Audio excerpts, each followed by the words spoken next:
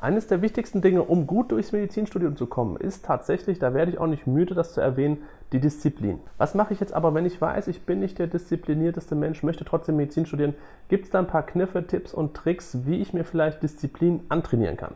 Die gibt es, die musste ich selbst lange suchen und damit du nicht so lange suchen musst, erzähle ich sie dir einfach jetzt.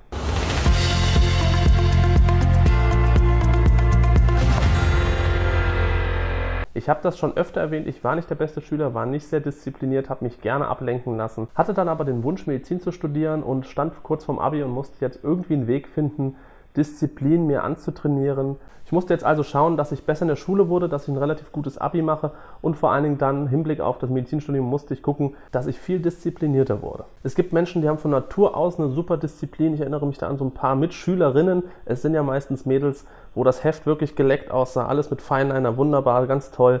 Die haben gebüffelt und gelernt und hatten eine Wahnsinnsdisziplin, haben sich da mittags hingesetzt an den Schreibtisch und haben einfach zwei, drei Stunden am Stück gelernt. Und ich habe mich immer gefragt, wie geht das? Wie kann man sowas machen? Wie kann man nicht irgendwie raus wollen in die Sonne, Sport machen wollen, mit sich mit Freunden treffen, sondern wie hat man diesen Willen, sich dahin zu setzen und auf alles andere, alles andere auszublenden und nur zu lernen? Das musste ich auch erstmal lernen und äh, jetzt kommt Trick und Tipp Nummer eins. Eins, was ich mir relativ früh angewöhnt habe und das möchte ich dir auch raten, ist, mach dir feste Termine. Mach dir Termine zum Lernen.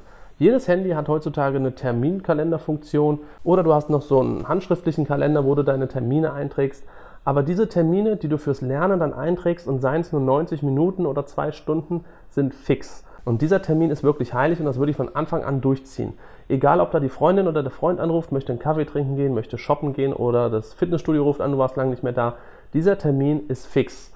Und das sind vielleicht wirklich nur anderthalb oder zwei Stunden an einem Morgen oder nachmittags, wo du am liebsten lernst wo du nicht kannst, wo du einfach out of order bist und nur lernst. Wenn also Person XY oder XX anruft und sagt, hey, Donnerstag äh, um 10 Uhr, lass doch mal brunchen gehen und du guckst in deinen Kalender und sagst, äh, 9 bis 11, da steht Lernen, dann drück nicht auf Löschen, dann sagst du, da habe ich leider einen Termin, ich könnte erst ab 11. Denn wenn du diese Termine einhältst, hast du einen super Lernrhythmus. Dann hast du einen Rhythmus zu lernen, dein Körper weiß, jetzt ist Lernen angesagt und du machst das nicht so spontan zwischendurch, jetzt habe ich mal eine Stunde, jetzt lerne ich mal und dann doch nicht und hier wieder. Also du brauchst auf jeden Fall, um gut zu lernen, auch einen besonderen Rhythmus.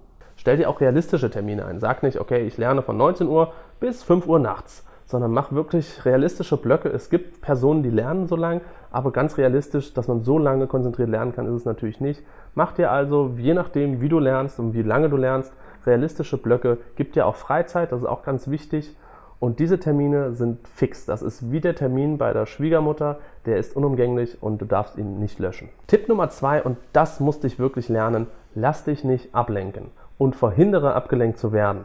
Das Handy liegt neben dem Laptop, der Laptop hat natürlich Internetzugang, das Telefon steht vielleicht noch da und hinter dir ist noch der Mitbewohner in der Küche. All das sind Komponenten, die so bei mir am Anfang waren und wo ich mich extrem habe ablenken lassen. Du guckst dann doch mal bei Instagram oder bei Facebook auf dem Handy oder guckst mal, hm, die neue H&M Herbstkollektion ist da oder weiß der Geier. Irgendwas lenkt dich auf jeden Fall ab. Dir schreibt irgendjemand, das Ding ploppt auf, es macht Geräusche. Genau dasselbe Spiel war bei mir mit dem Laptop. Laptop da, klar brauche ich Internet, um irgendwas zu recherchieren, bei Wikipedia was zu gucken, bei Google was zu schauen. Aber ich habe mir dann die Seiten Facebook, Instagram und YouTube gesperrt. Viele Browser oder fast alle haben die Funktion, dass du bestimmte Webseiten sperren kannst, vorübergehend. Du kannst das dann wieder freischalten. Aber du hast so schon immer deine Lieblingsseite eingegeben und drückst schnell auf Enter und buff, dann bist du für 10 Minuten oder noch weniger abgelenkt, bist raus aus deinem Lernrhythmus und hast wieder von deinem Termin ein paar Minuten verschenkt und das ärgert dich. Das ärgert dich danach, das ärgert dich dann hinterher, wenn die Klausur nicht so war. Du musst wirklich dafür sorgen, dass du nicht abgelenkt werden kannst. Ich habe bei meinem Handy einen Nachtmodus. Da kann ich einstellen, dass ich nachts nicht gestört werden will. Da gibt es ein paar Ausnahmenummern, wie meine Eltern zum Beispiel, wenn irgendwas passiert ist, dass die mich trotzdem telefonisch erreichen können. Da würde ich aber wirklich nur zwei, drei ganz wichtige Kontakte reinmachen. Nachtmodus rein für anderthalb Stunden oder machst es manuell rein und raus. Handy am besten ganz, ganz weit weg, irgendwo aufs Bett. Lautstärke kann anbleiben, dich kann ja eh keiner erreichen. Beim Laptop, wie gesagt, habe ich mir die Webseiten gesperrt, die ich oft besuche und wo ich mich gerne ablenken lasse. Internet braucht man, das Internet komplett auszuschalten macht für mich keinen Sinn, denn ich habe dann doch schon mal im Internet irgendwas recherchiert. Das war der andere Punkt. Und mein Mitbewohner in der Küche, Tür zu, ihm gesagt, du, ich lerne jetzt zwei Stunden, möchte nicht gestört werden, fertig aus. Also, dass man wirklich jegliche Ablenkung um einen rum ausschaltet. Manche lernen sogar mit Ohrstöpseln in den Ohren in der Bibliothek, haben am besten nur so eine Cappy runtergezogen oder Kapuze auf. Ist völlig in Ordnung. Hauptsache, man lässt sich nicht ablenken. Das ist vergeudete Zeit. Man kommt völlig aus seinem Lernrhythmus raus und das ist ganz, ganz ärgerlich, weil man braucht diese Konzentration, um irgendwas zu behalten. Und Tipp Nummer drei habe ich selbst erst spät bemerkt, dass es mir ganz gut tut. Zelebriere es einfach. Zelebriere es zu lernen. Schaff dir eine Umgebung, wo du dich wohlfühlst. Und wenn es im Jogginganzug ist, dann ist das im Jogginganzug. Bei mir war das immer so, ich hab, bin morgens aufgestanden, habe mir einen riesen Pott Kaffee gemacht, habe den da hingestellt, bisschen Karamellsoße oben drauf. Also ich habe das wirklich zelebriert, Laptop an, hingestellt. Mein Schreibtisch musste relativ sauber sein. Ich kann nicht in so einem Chaos lernen. Ich musste mich einfach wohlfühlen. Ich musste was Bequemes anhaben und dann konnte ich sehr, sehr gut lernen.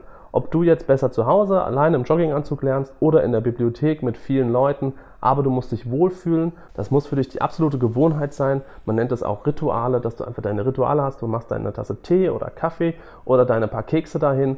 Zack, legst dein Buch vor dich und dann kannst du loslegen zu lernen, wirst nicht abgelenkt, fühlst dich wohl. Und da kann man viel besser lernen, als wenn man sich da irgendwie beobachtet fühlt. In der U-Bahn habe ich Leute lernen sehen. Das könnte ich niemals, weil man, man guckt ja jedes Mal, wer rein und rauskommt, irgendwer schreit rum. Also das könnte ich nicht. Da muss man sich schon irgendwo eine, eine Umgebung schaffen, wo man sich wohlfühlen kann. Und Tipp Nummer vier beim Disziplinlernen ist, veräppel dich nicht selbst. Du weißt ganz genau, was du nicht gut kannst und das lernt man automatisch weniger, weil das macht natürlich nicht so viel Spaß wie das, was man schon sehr, sehr gut kann. Also lerne ich das einfach ein bisschen weniger. Pustekuchen. Du musst aufschreiben, was du wirklich nicht so gut kannst. Du merkst das selber beim Lernen, okay, das kann ich nicht so gut.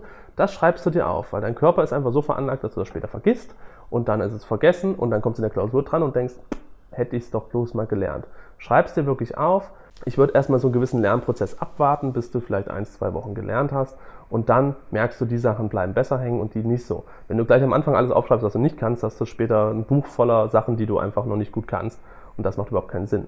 Das heißt, du musst erstmal so ein Basiswissen dir aneignen und dann gucken, da hängt es noch, da hängt es noch das aufschreiben, am besten noch markern, was wirklich besonders, eine Prioritätenliste machen, wo es wirklich besonders noch hängt und das dann kurz vor der Klausur, vielleicht so ein paar Tage vor der Klausur, dir nochmal richtig reinhämmern. Bei mir waren dann immer so vier, fünf Punkte und die, da hatte ich überhaupt keine Lust mehr drauf, der Rest hat aber ganz gut gepasst, musste ich mir dann wirklich nochmal reinprügeln, habe mir dann vielleicht auch mal einen Kumpel geholt, geholt, der mich das abgefragt hat. Also da musst du dir einfach merken, du lernst lieber das, was du gut kannst und weniger das, was du nicht gut kannst und das musst du wissen und deswegen vereipel dich nicht selbst, schreib's dir auf und ignoriere diesen Zettel kurz vor der Klausur nicht, sondern gehe das nochmal genau durch. Das waren jetzt so meine drei, vier Tipps, wie ich gelernt habe, Disziplin zu lernen. Wie gesagt, ich war nicht super diszipliniert. Gerade mit diesem Terminkalender am Anfang habe ich es mir super leicht gemacht. Also da hatte ich meine Termine fix, da konnte ich nicht drumherum. Dann habe ich mich nicht ablenken lassen. Ich habe das mega zelebriert. Ich habe mir ganz toll Kaffee gemacht, Cookies dahingestellt, habe mich wohlgefühlt, konnte deswegen gut lernen und hatte zum Schluss noch meine Liste, wo ich weiß, das kann ich noch nicht so gut, das muss ich jetzt nochmal als die Tüpfelchen quasi draufhauen, damit ich eine Klausur gut bestehe. Und mit den Tipps bin ich super gut gefahren. Gibt mit Sicherheit noch ganz viel andere Tipps, wie man Disziplin ganz gut lernen kann. Das war jetzt für mich, auf mich zugeschnitten. Vielleicht hilft es dir ja auch. Wenn dem so ist, lass mir doch einfach einen Daumen nach oben da. Schreib auf jeden Fall noch ein paar Fragen oder Tipps und Tricks, die du wissen willst, in die Kommentarebox. Und ansonsten sehen wir uns einfach im nächsten Video wieder. Viel Spaß beim Lernen und bis bald. Ciao.